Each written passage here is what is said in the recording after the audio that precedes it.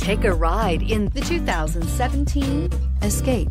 Gas engines flex, tow, sip, and go with Ford Escape. This vehicle has less than 25,000 miles. Here are some of this vehicle's great options.